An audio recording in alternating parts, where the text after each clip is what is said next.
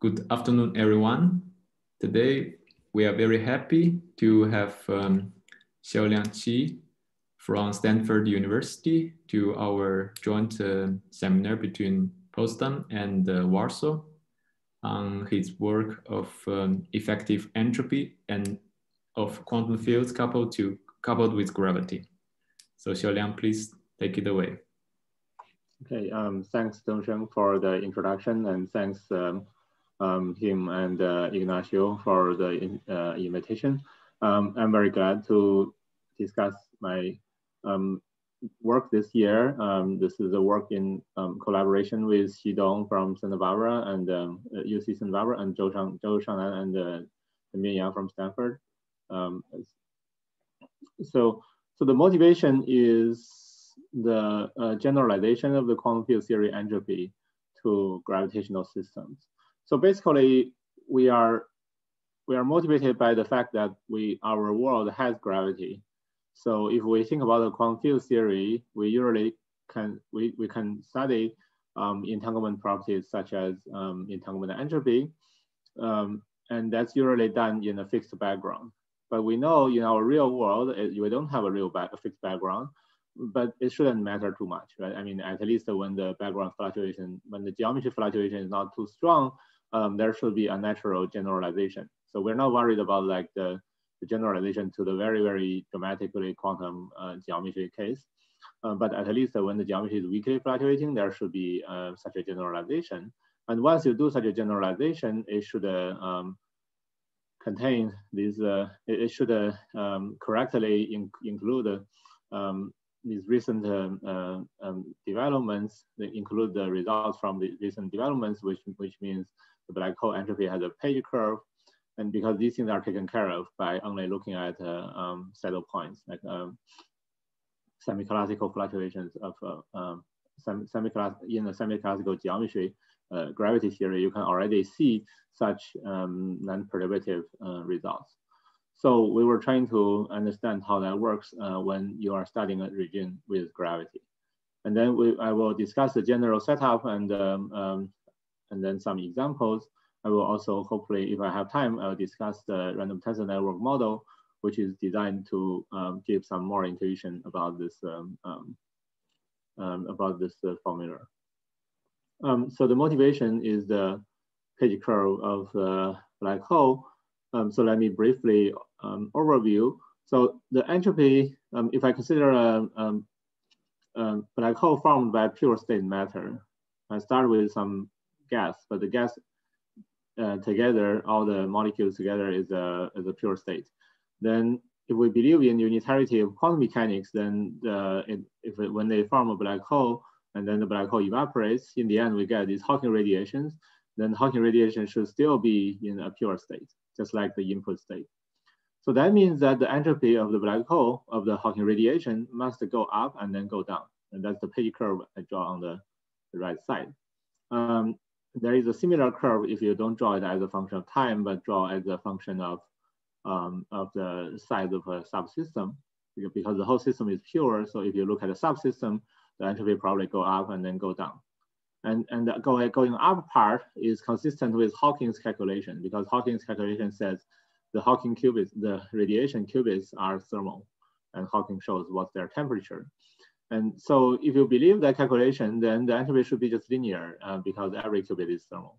Um, but the fact that it, the entropy in the end comes down uh, back to zero is suggesting that um, they are not actually thermal. They, um, they just look thermal locally. And, and from the outside point of view, this is not very, I mean, from the modern uh, point of view now, um, um, it's not like this phenomena is very mysterious. Like, like any thermalization of a pure state, uh, isolated system is like that. Like if you consider a spin chain or something like that, and then you start with the pure state, and then you evolve by a unitary Hamiltonian, and Hamiltonian is you evolve by a uh, Hermitian uh, a unitary time evolution with a with some Hermitian Hamiltonian.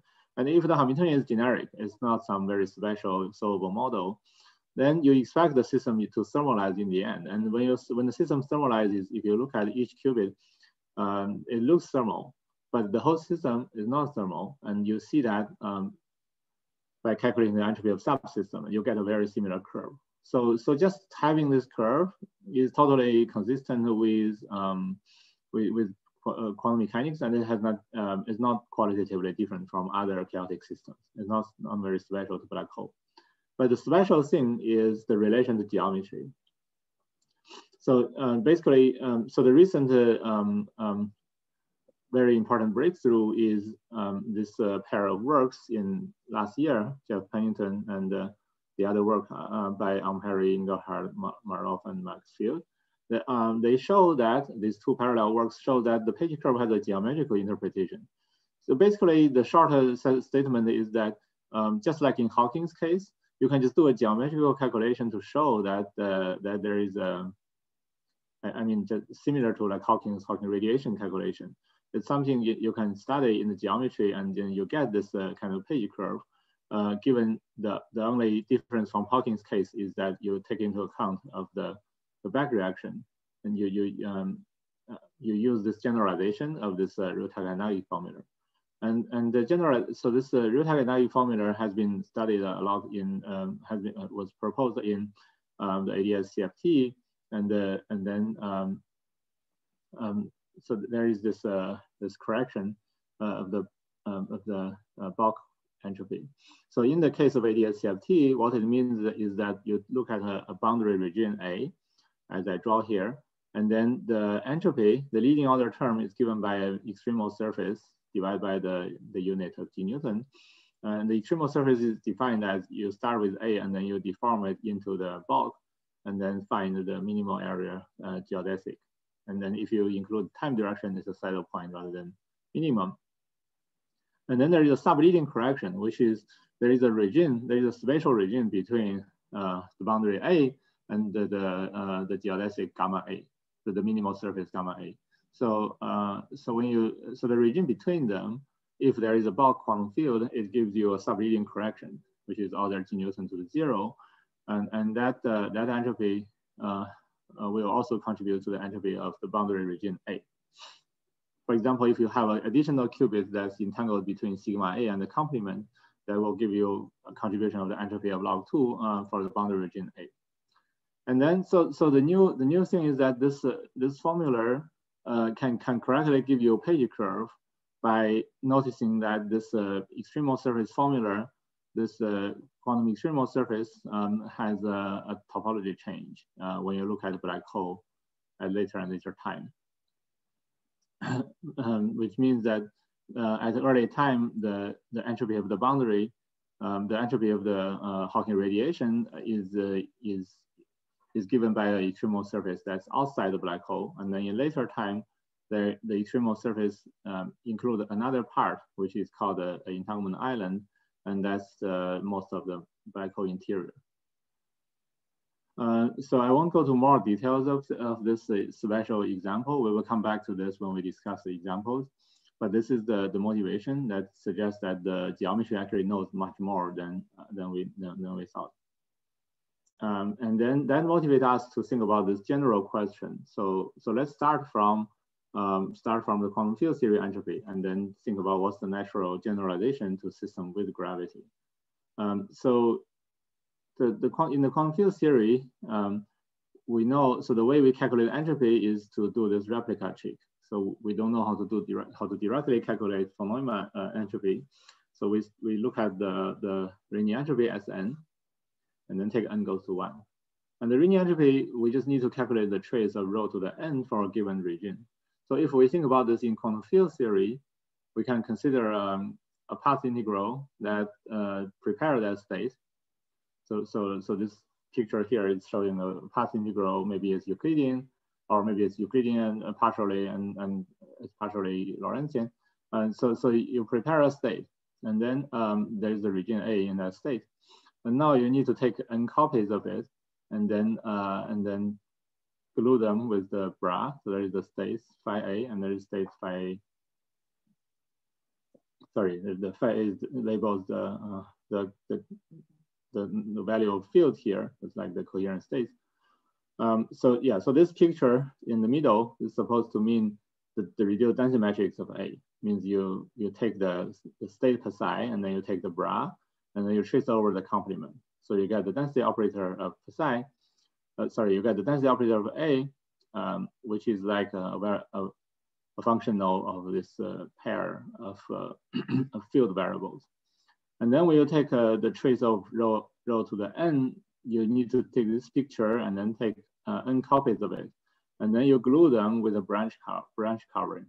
It means you take n copies of this, uh, this uh, manifold with an opening at the blue region, and then you, you glue them back. And then now you get something like this branch covered manifold, Mn. So you have n copies of the original manifold, um, just with the same metric. And then you, but, but you glue them here along A, uh, along this uh, branch color line. So, so when you go around, like let's say when n equals to two, which I draw here, you have two copies of the manifold. So when you go around uh, this point once, you go around the boundary of A, you go around once, you go to the other copy, and then you go around, go around again, you get back to the same copy. So, so just like this is like a, uh, if this is a two-dimensional surface, then this is like a Riemann surface uh, with multiple sheets. Um, and, and then you use this to calculate um, the, you, you use evaluate the path integral on this manifold, and that gives you this, um, uh, this trace rho to the end uh, after you do the normalization. So yeah, so so so this z of MNA is the partition function of this uh, this branch covered manifold, and then z the denominator is just the one without branch covering, which is just n um, n, n power of the original manifold partition function.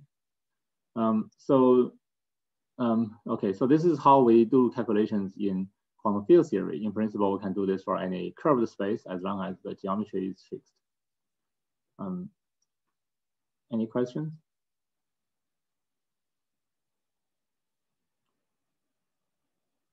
Yeah, um, just feel free to interrupt me anytime during the, the, the talk. And, and if you, I, I, don't think I can see the chat, so please don't send the question in the chat. Uh, so uh, I had a question. Uh, mm -hmm. Can you comment about the uniqueness of n equals one, meaning uh, when is uh, Carlson theorem valid, or uh, when does it get invalid? Um, sorry, the uniqueness of what of the n goes to one limit? Yeah. Um, so, um, uh, meaning uh, uh, when does this uh, replica trick break down or how does it break down near n equals one for some cases? Um, I think that that's probably some statement about the eigenvalue spectrum of rho A and for most of the cases, it, it, it, it it's applicable. Uh, but I, but it's it's true that there are cases when it breaks broken down. I don't know the general um, rule about that, but so I know an example like when we studied the SYK model, um, there is a case when this broke down and and and um, Uh, okay. Uh, that's because that's because the in that case it's um, um it's like all the higher ranges are proportional to n. So so if I use this formula, I will get n over n minus one, and that diverges. Um, yeah, I'm not sure what's the general rule, but I think it's um, it's about uh, the concentration of the eigenvalues. Like the SYK model has a lot of low energy states, which is not true in most of physical systems. Um, and so for most of physical, like the quantum field theory case, when you don't have a zero temperature entropy, um, it seems like we are probably okay. Uh, okay. Uh, uh, thank you, sir. But that's a good point. Yeah, it's, it's true that sometimes it breaks down.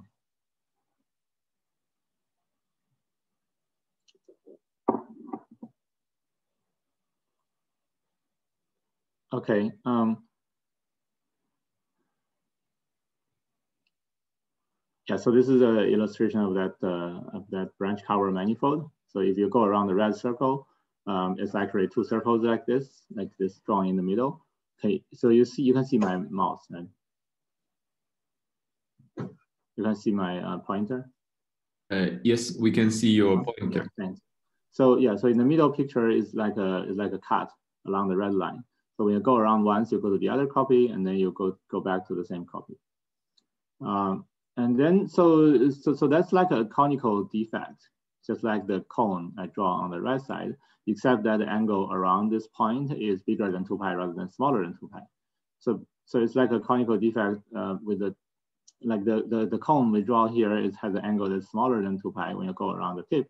Here is like 2n pi, so it has a, a, conical angle that's um, that's bigger. Um, but um, but it's for it's just like a cone, it has a curvature there. So so so this uh, branch covered manifold is like the same as the original manifold in terms of curvature everywhere, except uh, that at the at this branch covering point, which is the boundary of A, um, there is a there is a curvature. So you can so so in that sense, like this trace of rho to the n, you can really view it as like a, a correlation function where you inserted this uh, this branch cover this twist operator um, into at the boundary of A, and then you're calculating the expectation value. Okay, so the question for us is uh, how do you generalize all these things um, to systems where geometry is fluctuating? So, I mean, we are not uh, uh, we're not so ambitious to try to do this for like non-perturbatively for geometries that are strongly uh, fluctuating. It's, it's like we want to include, uh, we want to go path integral with different geometries and then and then develop some formula that works when at least the path integrals are determined by uh, are, are dominant by saddle points and small fluctuations around. So um, so, but then even in this re region, um, there is already some problem.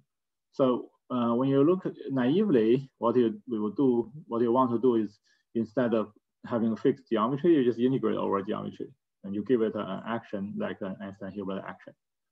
Um, the problem is uh, there is some ambiguity in what action you choose.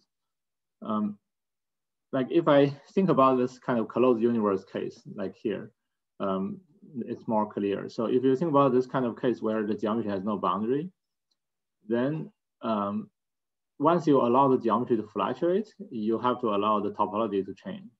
So once you allow the topology to change, if you just put in the Einstein Hilbert action in both the denominator, denominator and numerator, then what's the difference between them? So, I mean, you can't forbid that kind of branch covering which change the topology. So, so, um, so, so in general, the, the denominator and numerator just look the same. I mean, when you have a spatial boundary that or time boundary, um, that may not be the case. But just this, uh, this illustrates uh, the problem. So once you allow the geometry to fluctuate, it's more non-trivial to to like put in a twist operator because the twist operator is just uh, um, is just uh, going from one manifold to another. So um, so if you're integrating over manifolds, how do you know which one you have? Uh, and uh, and and uh, also like um, also if you you expect uh, like when you you say say without fluctuation you have this kind of cone and when you if you allow a, a geometry to fluctuate the saddle point will not look like this because it doesn't satisfy the Einstein Hilbert um, it doesn't satisfy the Einstein equation. So the cone the, the conical uh, singularity will be resolved. And that will lead to some some different behavior of the entropy. And uh, which means we are we are talking about a different quantity even even in this G Newton goes to zero limit. Can I ask something? Mm -hmm. So you're you're here plotting everything in one one special dimension. Uh, is it also valid for higher dimension? Yeah, yeah. I'm just using the 2D as an example. Yeah, this, this is supposed to be general dimension. Because it looks like in higher dimension, the twist is not local, right? That's correct. Yes, yes. Uh, it's a that, surface. That's fine. It's fine. No. Yeah. Okay. Thank yeah, yeah. So, so I should clarify. Yeah, everything, the, all the discussion here are all about general dimensions. And and in general, the the twist Thanks. depending at the codimension two surface, which is the boundary of spatial region A. And, and we, we want some quantity that reduces to the entropy of the quantum field theory in the limit when G Newton goes to zero. Um, well, sorry, in the in the limit when um, at least at least uh, so when G Newton goes to zero, um, it's, it's given by quantum field theory entropy of some some of the manifold. Um, uh, so so so so we need to um, yeah. So basically, we need to um, we need to what we need to do is to allow the geometry to fluctuate, but still remember that twist operator. So our proposal is. Uh, uh, excuse me, can that, I ask a question? Yeah. Uh, okay, I guess I guess Aaron has just answered it in the chat. Never mind. Thanks. It's about okay. how why does the conical defect vanish in the presence of uh, gravity? Yeah, it's because it doesn't because it, it, has a singularity. It has a delta function in curvature, so it doesn't mm -hmm. satisfy the Einstein equation. And and that's exactly right. what we want to resolve. We I mean the short the, the the the shortest statement is that we actually want that conical singularity just to reproduce the mm -hmm. quantitative result. So as a consequence, we had, we had to add in a brane source term. We had to mm -hmm. add in a source term, uh, a brane that's codimension two, and and state that the bound at that boundary of A, just to mm -hmm. allow that uh, conical singularity to, to happen. Um, if we don't do that, then um, then then everything will be smooth. Yeah. Thanks. Sorry, Xiaoliang. Yeah. Can I still ask a question? Yeah. So it's maybe naive, but uh, I was wondering just in two dimensions, uh, if we just take a computation in the CFT and we couple it to gravity, that would be like just coupling your CFT to Liouville, or you just uh, have. So you're talking about a two-dimensional bulk. Yeah, uh, well, like bulk. I really mean uh, just a QFT, CFT computation. So, mm -hmm. so so CFT yeah. plus Liouville, and then we would uh, what would be the like is it is it kind of well behaved there or there's still these problems like somehow i would naively think that this is just a computation of 2d quantum gravity like people used to do back in the days in a sense yeah that... so so there i think you will meet the same problem and that's like uh, that's like this this picture so so the problem is that um well when you say Liouville, it's like uh, when you are thinking of uh, um, the same topology, I guess. I mean, the, the problem happens uh, because you have different topology. So, so, so like, like when you write down, if you allow the geometry to fluctuate, then this path integral over G will contain different topology. Mm -hmm. But once you do that, then the, top, the numerator and denominator are the same. I see. Because, uh, I mean, uh, if, if I just naively add a Einstein-Hilbert action, then they are the same. Um, we need to have some way to specify um, that boundary of A. And then, um, and basically we need to insert that brane there so that the top and bottom, the numerator and denominator are different. Okay, okay, thanks. So in the 2D case, yeah, you need to insert this uh, these twist operators. So in the can without I, gravity, I... without gravity, just say insert the operator there. But with gravity, you need to be more careful in, in, in, the location in a given way and then you, you need to tell me you are putting in something with certain energy such that it introduces that uh, control angle. Can I ask something? So I would expect that um, even though if you have a, a, gravity action, if you just compute, for example, uh, the correlator of two twist field at a certain specific position, this wouldn't cancel the, the upper and the lower part. Is it correct? because because I would uh, expect that uh, in order to have a kind of a equivalent of a gravity action in terms of twist field, you should integrate over the position of the twist field everywhere somehow, uh, because you need to to allow the geometry to fluctuate everywhere, not only at the end of your interval. Um, yeah, so this is one this this this is one uh, question um, about the definition. And uh, um, it seems like uh, if we want this uh, to, so, so basically what our proposal is we don't allow the twist field position to fluctuate everywhere, but we fix it in a gauge invariant way.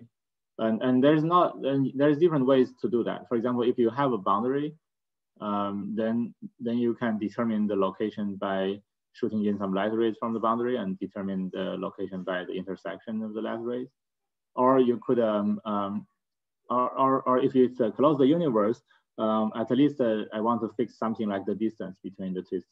For example, in let's say in 2D, then when you have an interval, then you want to fix the size of that interval. Otherwise, you're averaging over many things that are physically different in the field theory case.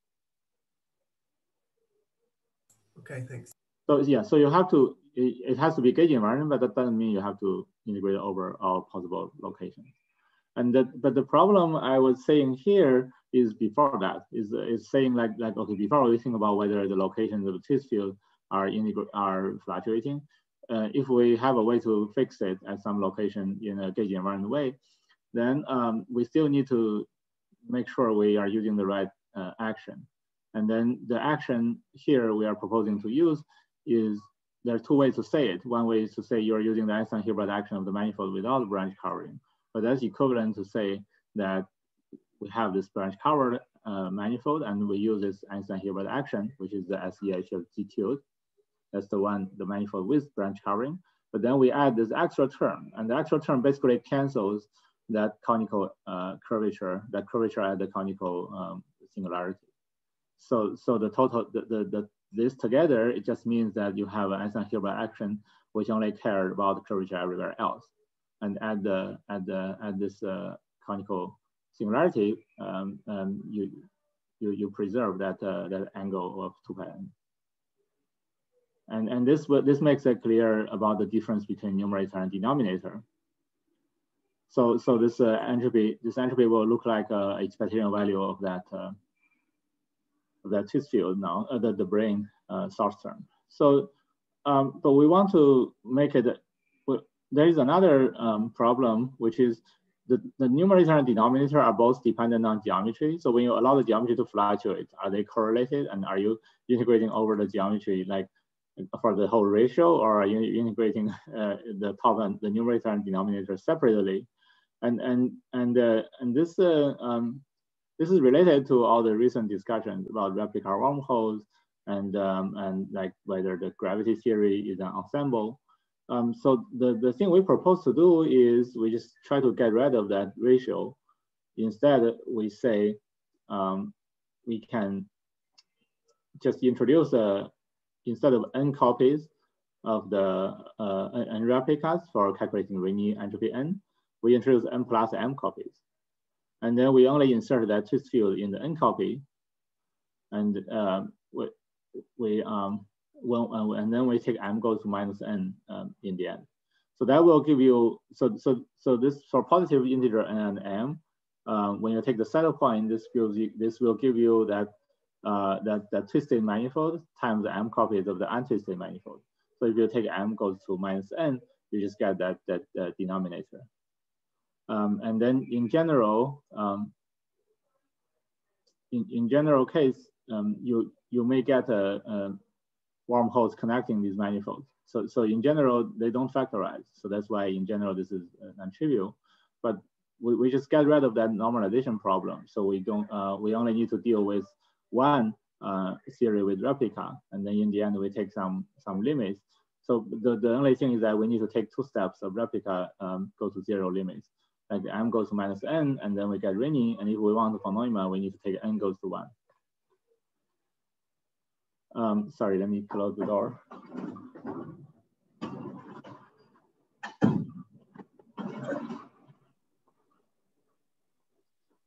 So in summary, um, our proposal is designed so that the saddle point, so that so that this, this branch cover manifold I draw on the left side um, for n equal to two that manifold with the two conical um, points in general is a codimension two surface uh, at the red point.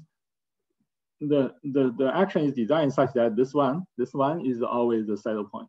So like if M itself satisfies the Einstein equation, then this twisted manifold also satisfies the Einstein equation of our system because the conical singularity uh, effect is, can, is canceled.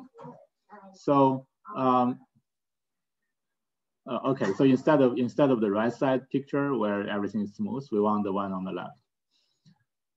Uh, and, and, and but that doesn't mean this one is the dominant saddle point. So the, the, the whole point is that there can be uh, other saddle points, which we will discuss later.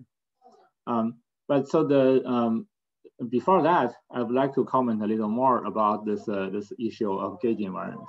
So when the geometry is dynamical, uh, we have to determine the location of this boundary of A, where you put this uh, brane. We have to determine that location in a gauge invariant way. And, and I don't see a, a unique way to do that. there is there is different ways to do it. For example, if you have ADS, or, you, or even when you have a flat space, um, you could uh, when you have a asymptotic boundary, you could determine the location by by this uh, light ray. And you could you can send in a family of light rays, and you count them from the boundary, and you say when the intersection of the first incoming ray and the tenth outgoing light ray, um, that's that's the location of my uh, manifold. So um, so so so you could also uh, you could also think of more physical ways, like like how do we determine location in our universe? I mean, we could we could uh, have markers, right? We could we could have massive matters which are sitting somewhere, just like star, stars, and then we use them as the markers and say, uh, I want I want uh, my boundary to sit um, in the tenth um, um, marker on my map, and then at a certain time determined by some light rate. So so so you you could uh, you and and there is a another case which is like if I have say for example my geometry is a sphere and and spatially and there's no way to determine where is the location they're all equivalent but at least I could fix the size of this region and I could say my my space space is a sphere and then I uh, my my my region A is a hat and then I can fix this to be a, a head with certain size. So you you you allow the, the head to go different places, um, but at least the size should be fixed. Yeah, so so these are examples of different ways um, to fix the location, and uh, uh, they they should all return to the same quantity in when the geometry is static. Um, but when the geometry is um, is, is fluctuating, they, they could be different things. Um, okay, so, uh, but the discussion applies to, to any of them. Yeah. Uh, uh, I'm sorry for the interruption. I just had a last question. Uh, so when we are integrating over all uh, replicas which have dynamical gravity, why do we assume that Einstein equation is valid? Because uh, uh, is it in the semi-classical approximation where we are doing the path integral over the replica manifold? uh, where we assume Einstein equation to be valid and everywhere the geometry is smooth and even though it's dynamical so that we need to remove the twist fields at the boundary uh, meaning uh, why is it that uh, we're assuming Einstein equations validity in the path integral of of all manifolds uh-huh I'm sorry, I was a little distracted because my son just ran in. Um, in the room. So, um, so, so um, you were you were asking why are, are you asking why the the path integral without the branch branch uh, without the brane? So, uh, I'm if it's uh, going out of time, I can discuss it later. So it's up to you, sir. Um, well, no, it, either way is okay with me. I, no, I was just sorry. I just didn't capture the question because uh, my son was in the room and then he just left. Yeah, uh, I sorry. Uh, asking sir that uh, why do we assume the validity of Einstein equation in the uh, in the path integral? Is it because we are assuming some kind of some kind of saddle point approximation of the path integral where uh, Einstein equation is valid? Yeah, so we are, yeah, well, in general, we are integrating over all geometries. So it's not, um, um, it, it, so certainly we're not, we're not only looking at the, the, the geometry satisfying Einstein equation. Um, what I'm saying is we hope that what we propose will reduce to the quantum field theory entropy um, in the limit when G Newton goes to zero. So, so um, uh, I mean, that's uh, when, when there's no non-trivial things like the, the entanglement island. Uh, then then it should reduce to the um, to the formula for quantum field theory, and and, and that's why I'm I'm I'm talking about the um, the saddle points, which are the ones that dominant in the limit when G Newton goes to zero. So these are the ones, the classical solution satisfies the Einstein equation, and we need to be careful about this uh, um, about this branch covering the branching surface. Uh, so um, maybe I could uh, put it in the end after the talk. Yeah. Uh, okay. Thank you. Yeah. Okay, thanks. Yeah, so so as I said, um, yeah, we, we want to allow the geometry to fluctuate, but we always are interested in the region where the theory is semi-classical, which means the genome plane is small, and we are looking at saddle points and fluctuation around saddle points. To the leading order, in the end, we are just doing looking at the leading leading uh, term. And uh, and if we look at the the ADS CFT case, it's the same order um, there. Um, you only need to look at the saddle point, and that already gives you that uh, that quantum extremal surface formula. okay, so so the non-trivial case is is like here, like um, when we look at the branch covering manifold, uh, when we look at the sorry, when we look at the saddle point of this uh, of this replica action, then the trivial um, case is the solution is just the branch cover manifold of the original manifold M. And, and that's always the saddle point by design. But then, uh, but the non-trivial case is when that's not the dominant saddle point. You may have another saddle point with different topology, just like uh, the picture on the right side, and that could um, uh, become more dominant. And, and in that case, um, we get these, uh, these replica wormholes and uh, and, and we get a, a, formula of the entropy that has a non-trivial uh, quantum extremal surface. So that's that's the case when when we say there is a, a entanglement island. So so that the, so so the, the, statement is that even if you look at the saddle point, even at the level of saddle point of the action, there there is a non-trivial possibility, which in which case the entropy of this system with a weak uh, fluctuating gravity is is qualitatively different from the entropy of the quantum field theory in the fixed background. Because once you allow the geometry to fluctuate, it could change the topology um, like the picture here.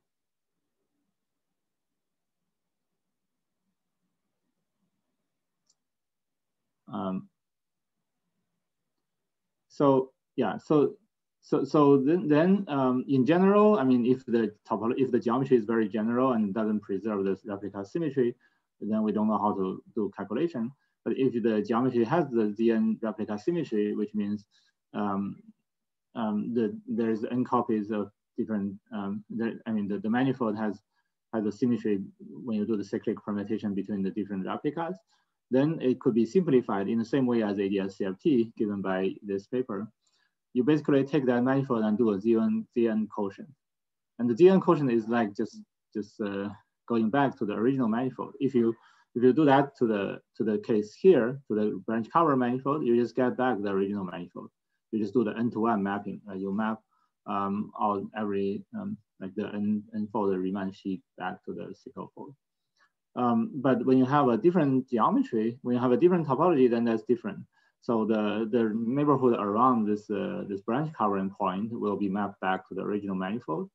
But there is some other uh, if there is some other connection between these different parts, different um, um, replica sectors, then then that connection uh, will be will become a special surface, which is this I, and and at the boundary of that I, there will be conical angles.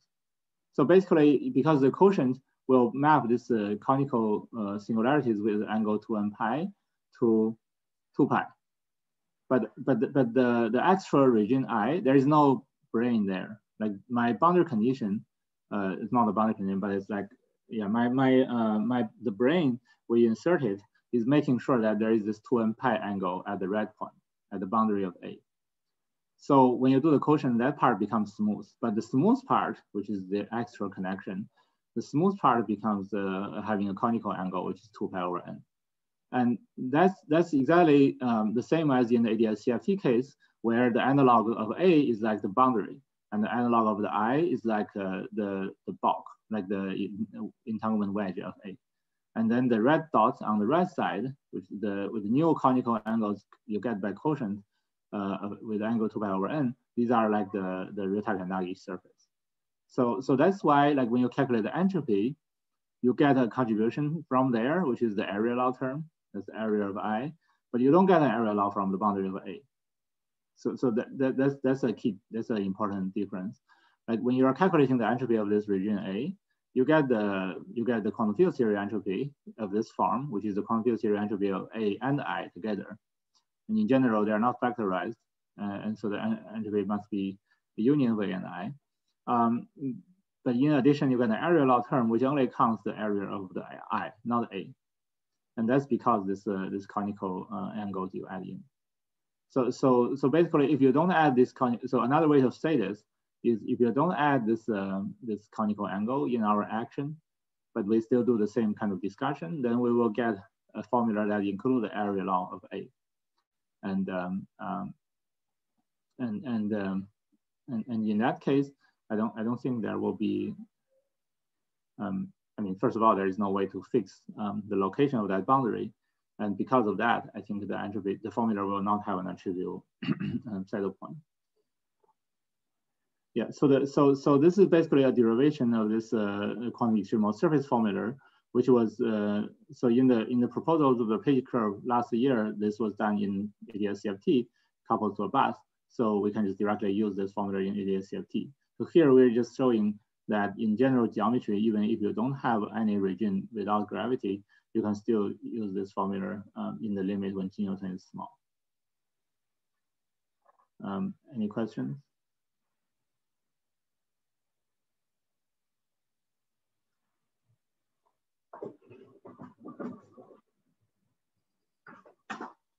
Um, yeah, so, okay, so now, so let me discuss a little bit about the physical interpretation.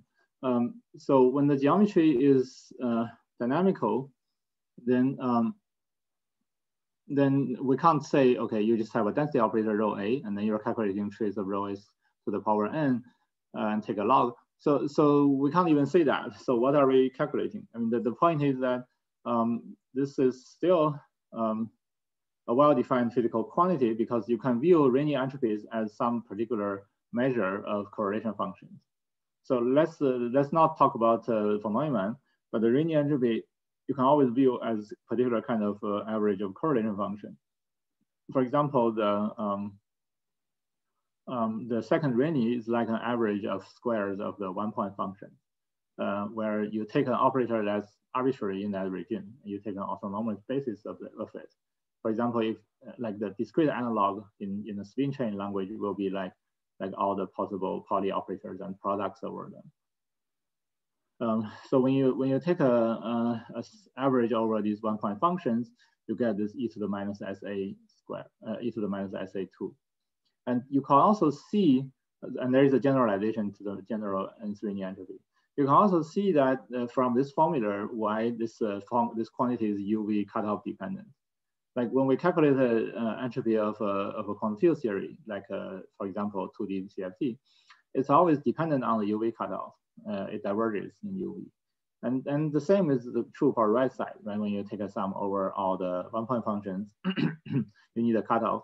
And, and um, um, if you take the cutoff to be higher and higher, the quantity goes, uh, the quantity uh, changes. Um, so so um, so so so I mean, someone some people are interested in having a UV complete formula for entropy in gravity theory, so they may view this as a as a problem. Um, but from our purpose, I think this is a good thing. Like uh, like our formula um, depends on the UV cutoff in the same way as uh, as the uh, quantum field theory calculation.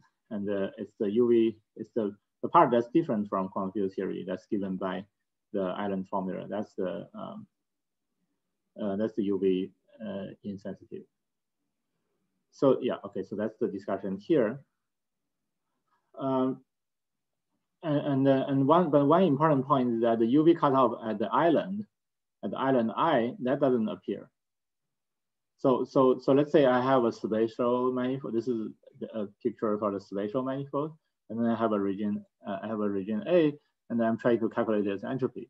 So it will depend on the UV cutoff because there's more and more EPR pairs at shorter scales uh, at the boundary of A. I need to cut off, and then, um, but but then um, if you think about if you do this calculation and you find a non-trivial extremal surface, which is the boundary of I, so the entropy, the actual entropy becomes the entropy of AI together in the quantum field theory plus the area of I. And that quantity actually is independent from the UV cutoff at I because um, when we change the UV cutoff at I, we have to at the same time change the G Newton. Um, so so um, you have a similar discussion in ADS CFT. So when you when you have a um, when you think about, say, reducing the UV cutoff, you're integrating over some quantum field theory degrees of freedom, you should put in, I mean, the, the integrating all these quantum field theory degree of freedom will renormalize the Newton. And that means that some of the entropy that used to be in this uh, SQFT will go to the area law of, of the boundary of I. And some should stay the same. So in other words, if you think about the UV cutoff that's dependent in space, and you only change it around I, you don't change it at the neighborhood of A, then the entropy of A should stay the same. So that's, that's, that makes sense because physically we are only, we are, when we are, uh, when we calculate the entropy, I don't need to tell you where is I, I only need to tell you where is A. Um, any questions? Uh, so I had a small comment regarding this formula. Uh, uh, this formula seems to be coming from uh, the semi-classical replica trick, meaning we are applying replica trick over uh, manifold where semi-classical geometry is valid and using quantum extremal surface prescription. but isn't island in a region of strong gravity regime where we need to justify why this uh, formula is valid because uh, uh, island in the original proposal of the east coast model was in the interior of black hole which i think is a region of strong gravity so uh, yeah. we need to justify why this is still a valid formula because uh, we don't know if uh, this description of quantum extremal surface formula is valid for strong gravitational regions. Well, I think the point is that, um, yeah, it's in strong gravity region, and um, um, you could say, well, I could say that the existence of the island itself is showing, is, is, is considered, you can view that as evidence that gravity is strong, which means that the back reaction gives you this, uh, this new saddle point that's dominant. And so that's a, that's that's you can say that's because that's because gravity is strong. Otherwise, you will always get the trivial saddle point. Um, but but that's okay for us. And the, the only um, uh, uh, because the geometry is still classical there. I mean, uh, like we're not in a region that's like extremely close to singularity where we need to worry about quantum fluctuations of, of geometry. So, uh, so, so, even even when you have the island in the interior, that part is supposed to be uh, where the the the the, the, the um, um, the saddle point of the um, action is still dominant. Uh, yeah, so, so in other words, it's strong in the sense of different from having no gravity, but um, but it's not that the quantum fluctuation is strong. Uh, but uh, as the island evolve, meaning as the Euclidean time evolves, the island also tends to. Uh, okay, I need to revise it, but uh, doesn't the island at some time is close to the uh, singularity of the black hole? Um, at least not generally, not, not, not in general. I mean, it will it will go up, um, but uh, not faster than your physical region. Uh, by physical region, you mean? Uh... So so so okay. So um, um, we can jump uh, ahead a little bit to this picture. So, so you see like, uh, like yeah, we, we calculate this in some example of black hole. Then your boundary region is like the A. This is a picture of a flat space black hole. Um, then, then you have a boundary region A. And then you have this island I. And if you look at the infalling coordinate, the island I is behind the region A. Yeah. So like, so at least in these examples, it's not meeting the singularity before I take this this uh, boundary region of A, the time goes to infinity. I mean, I'm not sure if in general that's true, and it may be possible to design some case where uh, where you get close to the singularity. Um, but uh, and in that case, I would say then we need to worry about whether the calculation is valid. But uh, but in general, we don't need. I mean, the point is that um, we propose this uh, this formula we should we should apply to the case when the island doesn't go too close to the singularity. Uh, how do we know that uh, inside the black hole interior, uh, where gravity is strong or weak? Well, it well, I mean the the criteria is with G Newton, right? So so you, you want action that's much bigger than G Newton. Um, okay. Uh, so so so at least uh, I mean like for example the distance in general you do the solution you find the island and the distance to the singularity are all other one other or um, finite and then G Newton goes to zero then you should be safe. Uh, okay, uh, thank you, sir. Because because if you do any fluctuation of, it's like yeah, it's just in one over G Newton is like one over h bar. So so it, it plays the role of. Uh, it, um, so if you if you keep everything else finite in the action, then it's uh, then, then the quantum fluctuations are suppressed. Okay. okay. But uh, um, well, how how long does the seminar usually last? Um, usually it's uh, around one hour, but we started okay. like five minutes late, and there um, um some questions uh, in between. Maybe we could still have. Yeah, I I, I also have to go um, around uh, nine fifteen or or so. Uh, so yeah, so yeah, I, I plan to take another maybe um, ten to fifteen minutes. Yeah, yeah, that sounds really good that sounds really Thanks. Yeah, so I, I won't talk much about the second part, uh, uh, the, the, but, but I want to discuss these, uh, these examples. Okay, um, yeah, so, so the first example is, uh, is the black hole geometry. So, um, so previously there was works about um, about like ADS black holes, and then you add in a bath, and the bath is, is, a, geom is a system without uh, geometry. So in that case, you can just build this as an application of ADS CFT. And in our case, now we have this formula, we can apply it to system uh, with gravity everywhere. So we don't need to artificially like turn off the gravity in the bath. So we consider a flat space geometry, a flat space Kruskal um, black hole. So, so it's just because it's easier to calculate, it's easier than a Vaidya geometry. So we just consider this eternal black hole, um, the maximally extended. Um, but uh, there is one subtlety, which is uh, you, you don't want to just take that eternal black hole and say, I'm doing a path integral on that, because that, that means your, your outside, your exterior will have a finite, will have a constant temperature. Because if you do analytic continuation to imaginary time, you get a time translation invariance, and then you look at the period, you know it has a temperature. But that's not consistent because we want to look at the quantum field theory in that background. And if you have a finite temperature, you have a finite energy density, and you have an infinite space. That's different from ADS. You have infinite space, so so so that's going to give you a big back reaction. Um, so so instead of that, we consider the same geometry, but then uh, we consider a different state so basically the, the logic is, is that we consider only the wave mode. So, so it's described by like a 2D CFT. And once we go to 2D CFT, we could do some Weyl transformation. And the Weyl transformation um, will bring you from one state to the other state to some other states. Well, it change energy momentum tensor in some way. So, so you could do the Weyl transformation basically to, to cool down the exterior. So you get something like this picture here. So this is what, what we numerically show. So you, you can do some Weyl transformation and define a state, which is like basically zero energy density everywhere in the blue, in the bluish region. And there is some, some energy uh, current in the yellow and, and deep blue region. So, so outside that, that, uh, that line, the light-like region, then it's cold.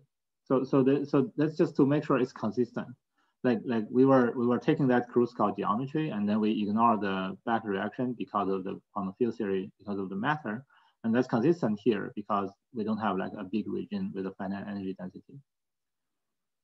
Uh, so once that uh, so once you confirm that then this is a I mean this is not a very natural matter this is this is a kind of a very artificial state of the matter because you have this uh, this uh, um, positive and negative um, energy currents um, but uh, that's just to keep this, uh, this eternal geometry.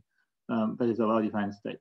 So when we look at the, the island in that, um, when we look, we, we, can calculate the island in this geometry and we get something like this picture. Yeah. Um, so, so basically, um, so you see that the island uh, goes into the interior, and then um, it's, uh, it's basically the scrambling time earlier than uh, than than this uh, position of the region A, the time the time of the region A. Um, yeah, so that's that's an interesting comment that when people study these eternal black holes in ADS, then they see that the island is a little bit outside the horizon. And now here, when we, we kind of consider a more physical situation where where the geometry, where the state state is not that eternal state, but the, the state with some uh, uh, with some zero zero um, energy in in asymptotically in infinity, and and that somehow push the island back to the interior, just like the the um, just like the the black hole form in form with matter. Um, the other example we considered is a two-dimensional case where things are simplified. So, so when in 2D, we can consider a, a ADS path integral, which gives you a state on the boundary, on the spatial boundary. This is not like an ADS CFT. This is like a Euclidean path integral, which gives you a, a which gives you a CFT state on the entire circle. Um, so yeah, so it's, you can, so it's like an ADS CFT, but in ADS CFT case, the, the, the circle here drawn will be like the space-time of the boundary. Here we are saying that's the space of the boundary. And then, in, uh, then there's a JT gravity. So, so in that case, uh, we don't have other way to fix the, bound, the region. So we fix it to be um, a region with a finite size. So, so we calculate the entropy of uh, a interval with a finite size. And then uh, then, then when you when you have sorry, then when you have multiple replica, um, what happened is you could have um, so so if you don't have the sort of trivial the trivial geometry is like um, you just have multiple copies of the original system and then you glue them. So that's the branch cover manifold. And the non-trivial geometry is basically like you glue these disks um, not only at the red region, but in another region. And then you get this non-trivial uh, picture here where there's, there is the other glue region I. Yeah, so, so topologically it's like the picture I draw earlier, except it's disks, not, a, um, not circles. And then, uh, and then you, you get this kind of page curves. So basically, um, this is because your matter is a CFT. So there's correlation functions that are, that there's entropy that's beyond the area law. So, so actually in all these examples we know, including the first one we show here, it's, it's essential to have entropy in the quantum field theory that's beyond area law. Otherwise, I mean, otherwise both term looks like area law. So you're not, you're not going to gain anything by having an island because you just cost some more area law entropy. So the, the reason why sometimes you have non-trivial um, this uh, uh, extremal surface is that by including the island i, you cost the area law of i, but you gain uh, some you gain uh, some reduce some reduction of entropy because the entanglement because the entropy of a and i together um, is smaller. And so so so so here here we are looking at the non-trivial formula with a non-trivial island and the trivial formula, which is um, the, just the entropy of A in QFT. So to have this left side smaller than the right side, you what you really need is you have a lot of quantum entanglement between A and I, which is which is such that the entropy reduced by more than the area law. Yeah, so this is uh, um, this is why like all the examples involve CFTs in one plus one. Um, okay yeah, so I think uh, um, I will skip the, I will just briefly mention the, the random tensor networks, but skip the, the details. So, so, so, so far, so far, all, um, all these are gravitational calculations. And then we were hoping to get some more intuition about why these, um, um, like, like what, what, what is the physical meaning of this entanglement island and how to construct operators from it. Uh, so, yeah. Uh, it would be really nice if you wouldn't mind going over the tensor network uh, picture because uh, that is what I was really, you know. Um, yeah, unfortunately, I have to I have to send my son to school, so right, right, right, okay. I may have to go in in like a, uh, another um, five to ten minutes. But yeah, I, I certainly am happy to briefly mention uh, key. Right. Um, so yeah, so I so I won't be able to define them, but uh, basically, yeah, we can um, so tensor network is like a Feynman diagram, and that gives you gives you a, a many body state. So you contract the tensors and give you a state. And then what we shown in 2016 is that if you have random tensors, then the state satisfies the Ricciardi formula, and you can also get the generalization Ricciardi formula uh, by, by sending in some general quantum field theory state, which is the big box here. So the general picture in holography case is you have a bulk state, and then that's mapped by the tensor network to a bigger space on the boundary. And that, that gives you that, that gives you um, surface, which means when you calculate the entropy of a boundary region, you get the contribution from the horizontal lines, that's the area law, and contribution from the vertical line, which is the field theory entropy. And then we want to generalize this to, um, to, to the more generic case, to beyond ADS-CFT. And the tensor network uh, model, when you, the definition naturally generalized to beyond uh, ADS-CFT, you can just, you can have a small boundary or you can have no boundary. And, and then uh, you can still define the tensor network, right? You can have a quantum field theory state and then project by these tensors, and then nothing left. Right? That's like an example of a bound, uh, universe without boundary. Um, so that definition is okay, but uh, but uh, how because you like for example in the case without boundary, you don't even have any state left. So what are we? I mean, what what what is this physical system? What is the Hilbert space? It's not it's all not clear. Um, so the, the point is that the point we want to make is that yeah, you don't have this uh, boundary Hilbert space, but uh, you can still define correlation function. Um, so you can just take the tensor network and insert correlators. For example, when you have a boundary, you could put boundary correlation. You could you could have bulk correlations by inserting operators here. And if you don't have boundary, you only have the bulk one.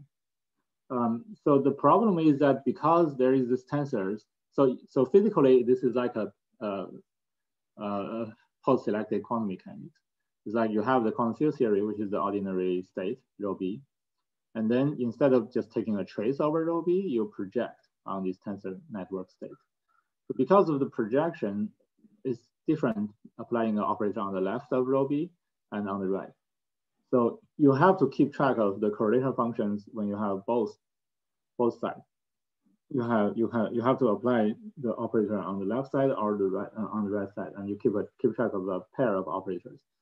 And, and this, uh, this is why we use this superdensity operator framework, which was from a, a paper I, I co-authored two years ago. Um, so, so basically you, you introduce this uh, uh, pair of operators and you view them as two states. You view the label, the operator label as states. And then that defines the density operator, but with a higher dimension. Like if it's a single qubit, if this horizontal, if this vertical line is a single qubit, then this is like four dimensional because there is four operators orthogonal to each other. And so then, then you get a four by four density operator. And physically, that's really just meaning, that's really physically, that's just opening that line. So it's saying like, although the closed universe tensor network looks like just defining a number, but if you allow me to insert operators, you have to allow me to break the line. And once you break the line, it defines the state.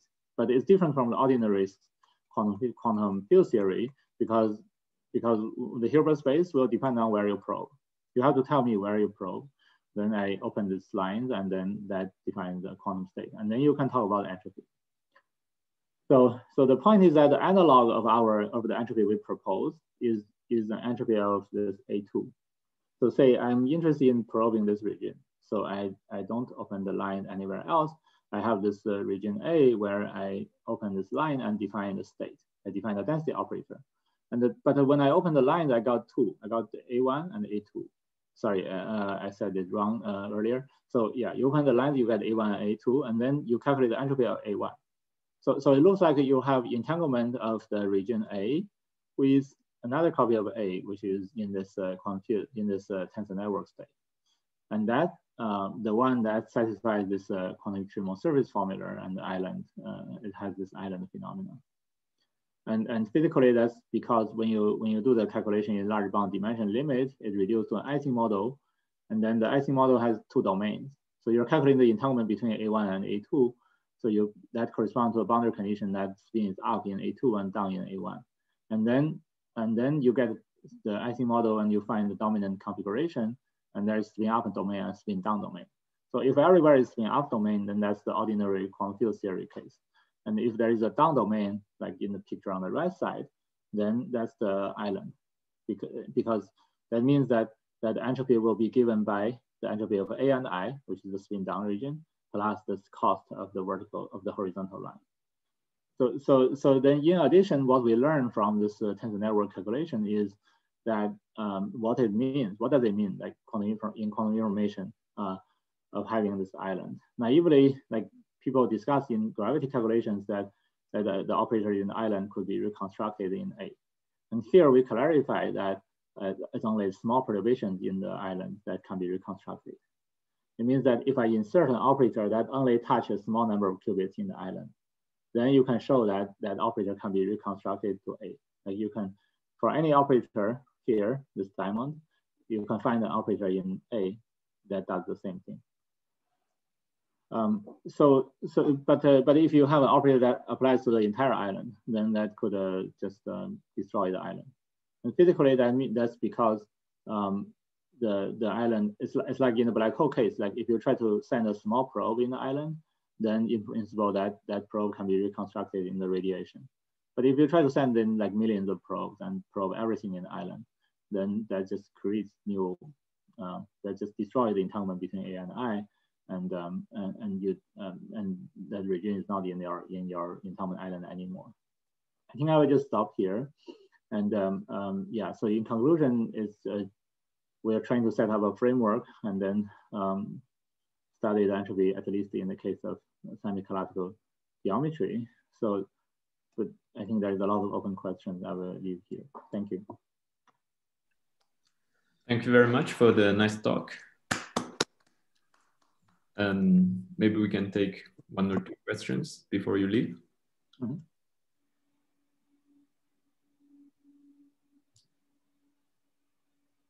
uh, yeah, so I have a question.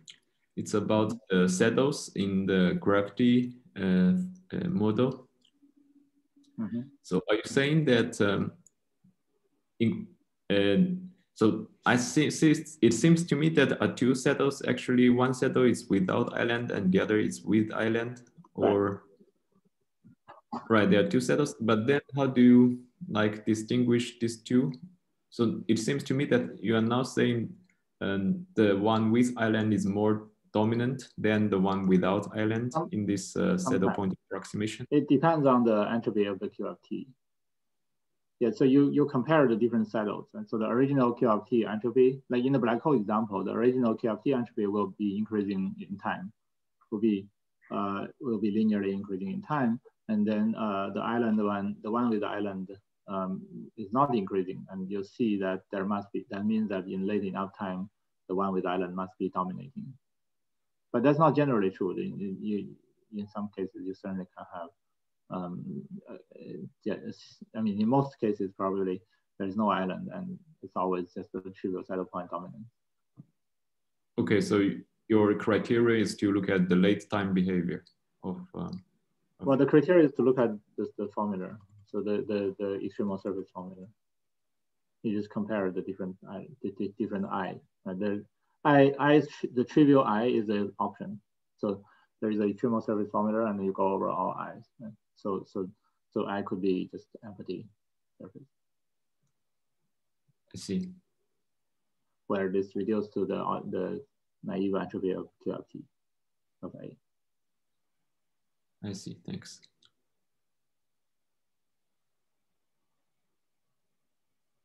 Does anyone else have uh, another question? So can I ask a question which I raised in chat? Mm -hmm. uh, okay, so uh,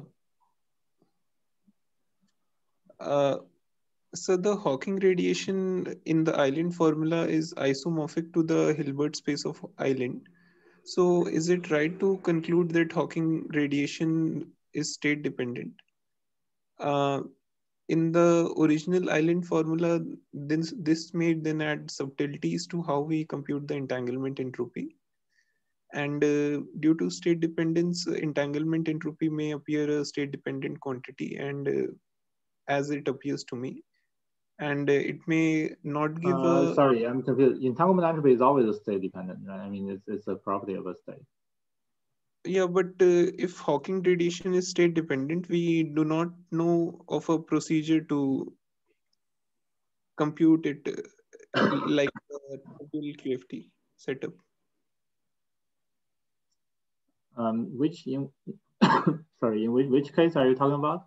Um, like say in the black hole with a, let's say a pure state black hole uh, which evaporates. Um, then then what's the problem? I'm assuming the AEMM model. Uh, in that case, we have a bath which contains Hawking radiation and island in the black hole interior. Mm-hmm. Island is uh, state dependent and is uh, the Hilbert space of island is isomorphic to the Hawking radiation Hilbert space.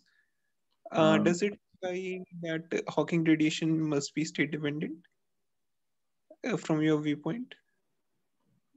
Um, first of all, I'm not sure what the, it means that island Hilbert space is isomorphic to the Hawking radiation because um, from what we see in this, um, well, maybe a subspace is, but from what we emphasize, what, what we see here is in the tensor network case, we can see that um, like when we say that, that there is, let's say there may be a big region as your island, but that doesn't mean like anything there is reconstructable from the radiation. It, it means basically small perturbations there maybe all the states that has all the states that have a, a vanishing back reaction, um, something like that. So, so the small perturbation, like if you if you perturb one qubit in island without changing anything else, then these kind of small perturbations can be reconstructed faithfully uh, from the region A, um, but not a, a general uh, multi-particle state. Um, oh, and uh, and about, sorry. Yeah, yeah, you can continue, sir. And about the state dependence, I'm still not sure. I mean, there is a state, there is a question about whether the island operators are state dependent. Like the state dependent discussion is always about the interior. Yeah, like that when you construct the interior operators from the outside, then the construction itself depends on the state of the black hole. I, I think that's true here. Uh, so doesn't the isomorphism of uh, Hilbert space of island and Hawking radiation, which tend to purify the Hawking radiation, imply that Hawking radiation should also be state dependent? Um, I, am not sure what that means because the Hawking radiation, uh, if you are saying, let's say I have pure state matter collapse into a black hole, and then the Hawking radiation, if you take off them, the state depends on that initial state. That's certainly true. I mean, that's that's that's expected from unitarity. Like if I put in the initial state that looks the same, have the same energy density, but it's orthogonal to, to the other state, then the output state will also be orthogonal. So so it certainly is state dependent. Uh, I meant that locally. I meant to mention state dependence in the spirit of uh, Papadodimas Raju proposal. Yeah, but that's talking about that. That's always talking about state dependence of operators in the interior. Yeah. So I mean, the, the, the, the, outside the outside input the, the outside output depends on outside input. That's not the spreading, right? The the spreading thing is if you construct the operators everywhere, including the interior, then there may be a difference between operators outside and the operators inside. And the operators inside may more explicitly depend on the black hole macro state, and the outside may only depend on the macro state.